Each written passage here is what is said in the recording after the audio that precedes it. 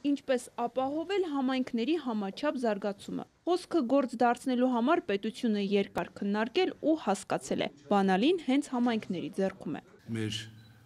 երկրում լուրջ տարածքային անհամաչափություն գոյություն ունի։ Երկրի հնայի շուրջ 50 եւ ավելի տոկոսային մասը ապահովում է Երևան քաղաքը, մարզերում մեկ շնչին ընկնող հնան ցածր է եւ այն համախառն արդյունքը, որը ստեղծվում է մարզերում, խիստ անբավարար է։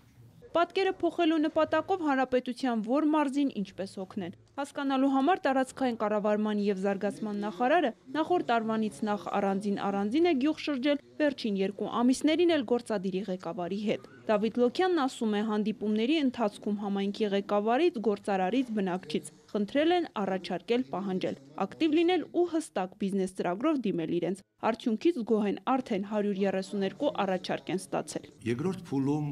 նախարարությունը այդ ծրագրերը բերում է տեսքի, ներդրումային ծրագրերի տեսքի, որը հատուկ ձև ունի, որը մշակվել է կառավարությունում,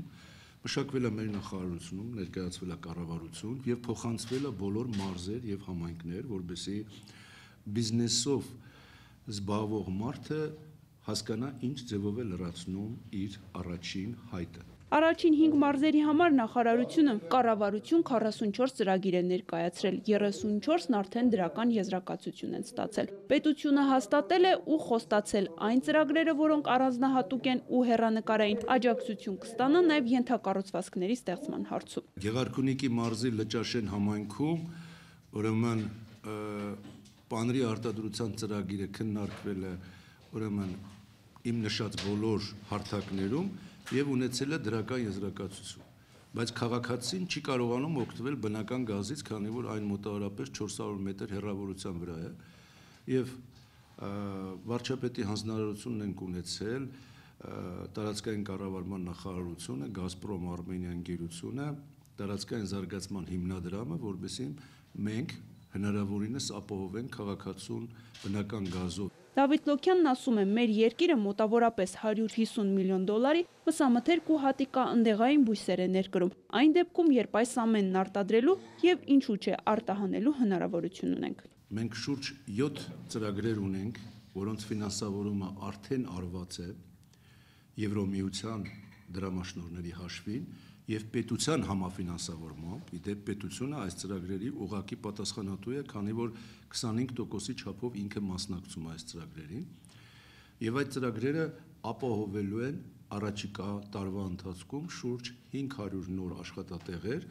միջինից բարձր աշխատավարձով։ Տավուշի մարզի 45 համայնքներում կառավարությունը ներդրումային տարբեր ծրագրեր է սկսել, սակայն դրանք մեկ մարզով չեն սկսվում ու ավարտվում։ Վայոց-Ձորում ավելի շատ այծի պանիր կմշակեն ու կարտահանեն, այն ի դեպ մեծ պահանջարկ ունի Ռուսաստանում։ Եղեգնաձորում արևային ջերմատուն կկառուցեն եւ ոչ միայն։ Ամենախոշոր ծրագրերից մեկը Եղեգնաձորի պահածոների գործարան ՍՊ-ն առաջարկում է փաստորեն օրգանիկ սերտիֆիկացում շուրջ 150 հեկտար տարածքներում օրգանիկ սննդամթերքի արտադրություն, դրա պահածոյացում եւ արտահանում։ Իդեպ ձեռնարկությունը ամբողջապես իր ապրանք, իր արտադրանքը արտանումը ԱՄՆ, Եվրոմիություն, ՌԴ ճունի շուկայի խնդիր եւ 3 տարվա ընթացքում շուրջ 103 միլիոն դրամ օժանդակություն ստանալու միայն գյուղատնտեսական աշխատանքների համար ինքը ձևակերպել է իր ծրագիրը, որը դրական ուրեմն հաստատման փուլում է եւ առաջիկայում այն կֆինանսավորվի։ Դավիթ Լոքյանն ասում է, այս այցերից հետո վստահ է հայտարարությունները, թե մեր երկիրը շատ թույլ ներդրումային պոտենցիալ ունի, անիրական են։ Վերջին 3 ամիսների ընթացքում կառավարությունը մարզերից եւ Երևանից շուրջ 3.2 միլիարդ դոլարի ծրագրային առաջարկ է ստացել։ Սոնա Հակոբյան, Վահե Հովսեփյան, Երկիրն այսօր։